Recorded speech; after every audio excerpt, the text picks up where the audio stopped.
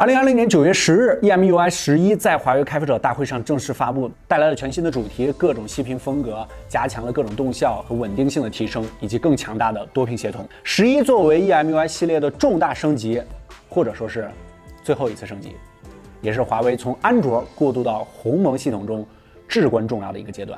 我们在这次的体验之中发现了很多鸿蒙的理念，比如各种分布式的能力。当大家看到这期视频的时候，鸿蒙系统的公测应该正在进行之中，很多小伙伴应该已经抢先体验上了。但是，大家也要知道，EMUI 就是鸿蒙的根基，一切过往皆为序章。Hello，大家好，我是王炯，欢迎收看本期手机灵魂系列，我们来聊聊可能后面不会再更新的 EMUI。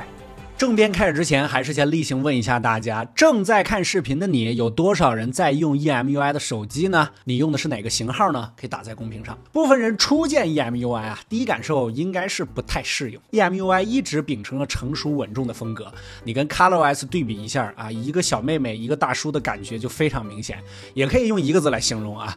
不好看啊！首先看图标绘制，电话、短信浏览器、相机啊，这些图标都是扁平的，而阅读和图库呢又非常的立体。再看一下设置，所有图标都有两个颜色组成，除了智慧助手，它都采用了四五种以上的颜色。这样做可能是为了突出它的属性，但是和其他图标明显不搭。再看一下别家啊，在拍屏很彻底的同时，也没破坏整体风格。设置中呢没有曲线留白，且主要采用文字注释，很少用图像的形式去展示功能。对于经常接触手机的年轻人来说，这些注释意义不大。啊！但是你想一下，对于不常用手机的长辈来说，有的时候他想进设置调个餐，这些注释是不是就显得十分友好了呢？当然，你可能会说这只是个人喜好的问题，并不太影响使用啊。但元素越多，就越容易产生不必要的视觉干扰。更何况 EMUI 的配色本身就偏深一些，无形之中给人用户一种重重的感觉。咱们还是和 ColorOS 对比，在默认界面，这个风格区别就非常明显。第二个，主题和息屏。当然，衣服不好看，咱们可以换一件啊。我们也可以换个主题，自带主题中的息星夜彩绘和碧海金沙就很不错，再把桌面网格调成五乘五，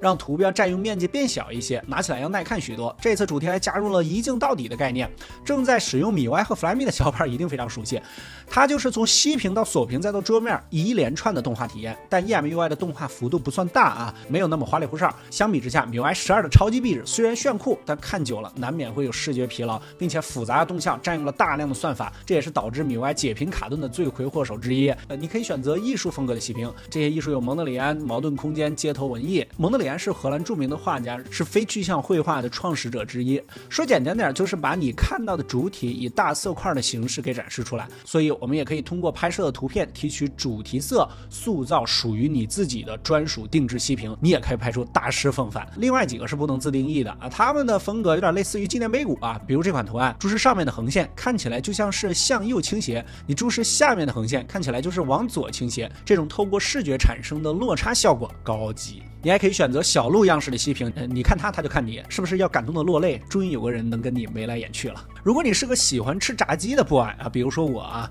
试试 EMUI 的隔空操作，你就像交响乐指挥，你做什么动作，手机就会响应什么功能。比如隔空滑动屏幕，雨天的公交站旁，女孩播放和暂停音乐。原谅走过的那些区。以及隔空截屏啊，千万不要觉得这个功能华而不实啊！在遇到一些不方便用手操作手机的时候，这还是非常实用的啊，而且准确率也很高。相较于传统电源加音量键截屏，EMUI 加入了一个更为直观的快捷方式，指关节双击屏幕即可截屏，干净且优雅，深藏功与名。这些小功能合理利用，确实能够大幅提升你的使用体验。在大的功能上面，EMUI 也绝对不含糊。本期视频由小白优品 APP 赞助播出，小白优品专注精品二手好物，各品牌新款安卓旗舰这里都有。比如说小窗和分屏，EMUI 可以从屏幕两侧向内滑动，呼出快捷栏，拖动其中一个就可以和当前应用进行分屏。按住中间小横条就能自由调整两个应用的分屏占比。轻点快捷栏中的应用就可以以悬浮窗的形式展示，你可以自由移动位置调整大小。不想用了，点击左上角的缩小按钮，就可以将悬浮窗缩成悬浮球，收纳一旁。你可以收纳多个这样的窗口，根据需求随时打开使用。好熟悉啊！这里是不是要手动艾特一下微信张小龙啊？并且它和 Flyme 不一样的是，点。点击悬浮窗外面的面积也不会消失。于是我们可以这样利用，在吃鸡这个游戏里，游戏节奏大致可以分为前期广场打拳，中期搜索物资，后期跑毒钢枪。前两步骤相对来说都比较枯燥啊，你可以边搜物资边看直播，遇到危险立马把悬浮窗收纳成悬浮球，专心作战。然后你没打过，哎，这个时候就可以继续看小姐姐的直播了。你永远不知道和你打游戏的队友正在干什么。第五个翻译，之前我们在米 UI 中提过 AI 字幕，EMUI 同样也有啊，它可以识别外部音源或者媒体声音，将听到的音频转为文字。EMUI 有一个米 UI 没有的点，就是能够将英文实时翻译成中文。在观看不带字幕的美剧时，即使听不懂，生肉看首发，有实时翻译也总比没有强。另外，大家心心念念的日文、韩文也在测试之中了。哇，这个真的是太感动了！我要为我之前问我有没有日文啊转中文的那个朋友偷偷的感谢一下他了。我已经连夜发邮件催促 EMUI 赶紧公测日文啊，相信很快就可以和大家见面了。说到翻译啊，自然也要聊一下 EMUI 的智慧时屏，在浏览器里双指长按即可触发，点击全屏翻译就可以将英文翻译成中文。看见左下角的滚动截屏了吗？点一下，一个全是英文的网站就全变成中文了。对于经常浏览英文网站来说，帮助极大。第六个，生产力。作为一个在商务人士中口碑非常不错的品牌，EMUI 在视频会议方面也下了不少的功能。这个在其他手机方面相对来说就比较少了。华为系手机之间可以畅联视频通话。如果在家你收到了临时会议通知，家里又太乱来不及收拾，点个更换背景，避免这种尴尬。看，我们可以换一套新的房子，也可以假装自己在旅游。除了视频通话，华为手机之间还可以互传大型文件。我们都知道，网盘不办会员速度是比鳗鱼还慢，但是这个大型互传就没有这种顾虑。像电影、视频这种大型文件，也可以不经过压缩直接发给对方，甚至。啊，比苹果的 AirDrop 还要快。同样，工作上我们难免会碰到需要拍摄文档的时候，EMUI 的备忘录有一个文档扫描的功能啊。当然，这个功能在其他很多手机上也有啊。在拍摄物体时呢，你不用刻意的将相机画幅对准的刚好包裹住整个物体，它会智能识别出主体，你只要稍微调整一下蓝线就可以直接开拍。它能够连续拍摄多张照片，用来整理学习资料、论文再合适不过了。如果你喜欢书中的某个段落，也可以直接扫描将文字提取出来进行复制。第七个，多屏协同和鸿蒙的分布式理念。多屏协同这件事情，其实之前我们在华为的全家桶跟大家聊过，如果你感兴趣的话呢，可以专题去看一看啊啊，那个聊的是非常多、非常全面。呃，EMUI 在我们今年的体验过程中呢，它的各种升级啊，都表现出来它非常注重提高生产力。当然，有些功能也不是它独有的，比如说文档扫描这种第三方 App 也能实现。但是说到各设备之间的相互联动、多屏协同，绝对是独一档的体验。它的连接方式非常简单，一贴就可以了。连接成功后，你可以在平板上操作手机，比如打开一个横屏应用，点击扩大，就能以更大的画面在平板上显示。你还可以直接在平板上操作，可以看到延迟已经非常低了啊！这个时候弹幕肯定有人飞啊，小米也可以实现，但是你自己去线下门店实际对比一下，你就知道开创者跟后面的跟随者的差别了。华为的滑动呢也非常跟手，并且它调用的是平板的扬声器，比手机要大得多啊，但是也有一些缺点啊，比如小屏拉伸到大屏这个分辨率会明显降低，期待后续有更好的适配优化。刚才给大家演示的是一台配置不高的荣耀平板，但是它可以流畅的运行原神、和平精英这样的游戏，这就是我们之前在华为的智慧屏的视频里边跟大家聊过的一些鸿蒙的分布式理念它只是通过平板来展示画面，调用的算力来自于手机，这样就意味着，如果你拥有一台华为手机和华为的平板，即使这个平板的配置不高，你随身肯定要带手机的，对吧？也可以用这种方式来进行大屏的游戏，而且延迟非常低。通过这种场景来告诉你鸿蒙的分布式理念，你对分布式是不是就有些理解了？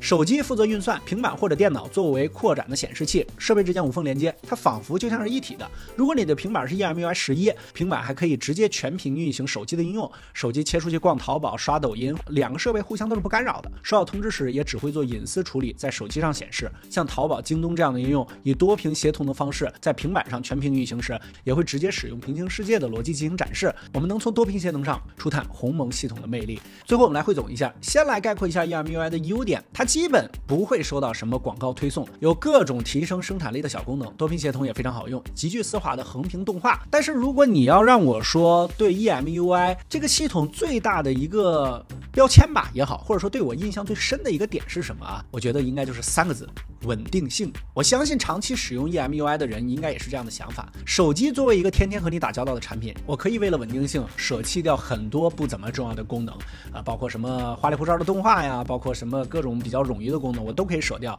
稳定性是我最看重的。正在使用 EMUI 十一的小伙伴，如果你觉得是的话，请扣一；如果你觉得不是啊，你遇到了各种各样的小问题，可以扣二。缺点方面呢，首先必须吐槽一下这个桌面啊，下拉只有搜索，而且呼出搜索的动画很僵硬啊。为什么不加一个下拉控制中心的选项呢？这个使用频率我觉得应该还是挺高的啊，每次用手机都得往上够啊，非常担心弄掉手机啊，尤其是 Mate 40 Pro Plus 这种比较大的手机，录屏的分辨率不高，它有多不高呢？六二零乘幺二八零啊！如果你觉得这期画质有些糊啊，不是我们的锅。桌面小组件打开是直角，缩放是圆角，切换任务时边角会存在短暂的未铺满情况。控制中心的动画有的非常丝滑，有的看起来的帧率不足。比如开关飞行模式，想换 WiFi 得进设置啊，不能直接在控制中心里边选择，等等等等吧。正是这些小小小小细节上做的比较糙，就是说它稳定，就是说它生产力高，但是好像从来没有人说 EMUI 很精致，对吧？总体来说，EMUI 是一个用起来很省心的系统。这个版本中我们也看到了很多它对鸿蒙分布式理念的一些应用。EMUI 十一是华为系统战略中至关重要的一步，但它肯定不是华为系统的最优解。